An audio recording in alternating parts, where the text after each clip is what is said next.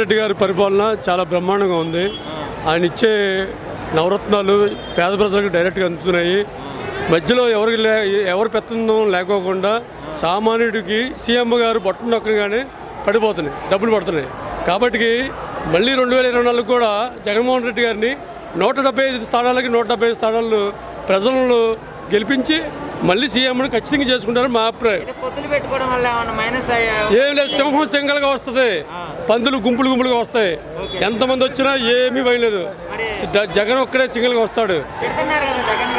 ఎప్పుడు ఎప్పుడు తిట్టారు? ఇదివరకు తిట్టారు. జగన్ పదహారు నెలలు జైల్లో ఉన్నప్పుడు తిట్టారు. ఇప్పుడు తిట్టారు ఎప్పుడు తిడతారు? జగనాలు తిట్టిన తిట్లే ఆయనకి ఒక శ్రీరాముల లక్షణ దీవెనలు. నేను లోకేష్ గారి పాదయాత్ర గురించి మేమేం చెప్తాము? చిన్నోడు.